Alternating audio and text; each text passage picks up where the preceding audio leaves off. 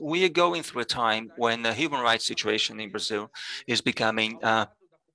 more serious and we've never seen anything like this. And uh, the black community in brazil together with the uh, native populations in brazil or the original peoples uh, communities in brazil they have this tradition they have this history of having their rights denied. So the brazilian state the brazilian nation was built on a history of very violent slavery for over 400 years. And as society started organizing itself at the end of the slavery period uh,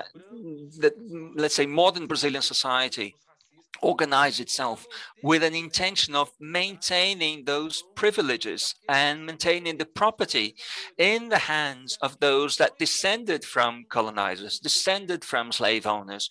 And uh, Brazilian society and all the governments since then have always strived to uh, maintain black pop population subjugated either through violence uh, on one hand or also and also because of uh, the very uh, difficult, very harsh uh,